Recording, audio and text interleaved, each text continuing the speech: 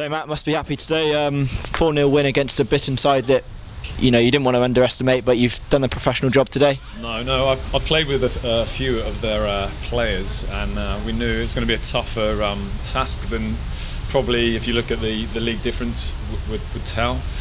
Um, we started off not the greatest, um, but we grew into the game, and at times we played some great football. The third goal, probably the standout moment of the game. Um, just re- really good uh, passing, finished by a, with, with, a great finish. So, yeah, good, good, good performance in the end.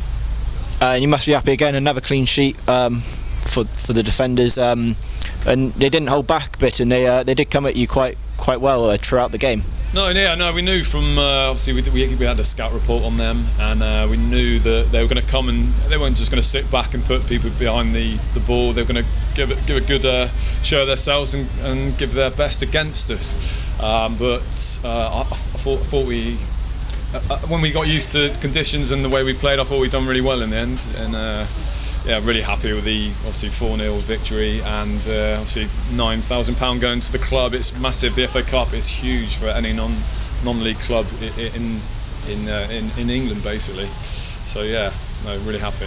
Uh, obviously, looking into the next round now, you're in the hat. Uh, what, what sort of thing do you want to look for another home game again, just to get through? Well, yeah, I mean, throughout obviously our FA Cup run two years ago, we had so many um, home draws. Uh, I'm not sure if we're going to be that lucky to get another home draw, but yeah, obviously at the moment we're playing really well. We're playing some great football here, and obviously we'd love a home draw, but obviously it goes away. Um, we, we deal with that, and uh, I think we take anybody at the minute. Confidence is high. I think we've scored something like 16 goals in three games. Conceded one. Defensively, they're looking really good. Um, probably the only time they looked like scoring today was when Nuno cleared from the uh, from the shot. He just cleared off the line. So I, I thought, thought we were looking really good We are looking really good. Uh, and looking into next weekend, you've got uh, back to league action, uh, long journey to Met Police. How, how, do you feel going into that game? Yeah, obviously, well, we've obviously scored them goals and obviously been really, very tight at the back. Um, we're already looking straight into it. We'll probably go by people carriers.